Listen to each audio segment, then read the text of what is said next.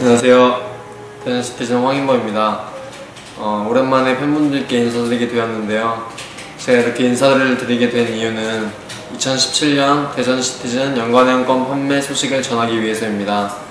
어, 연관회원권 구매를 통해 시티즌의 홈경기를 대폭 할인된 가격으로 관람하실 수 있으니 어, 지금 아래 홈페이지를 통해서 다양한 혜택과 이벤트들 확인해 주세요.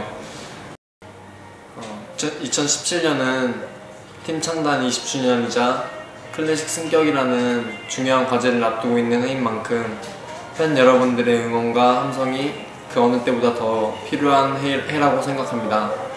어, 연관회원권 구매를 통해서 많은 분들이 경기장에 오셔서 선수들과 함께 했으면 좋겠습니다.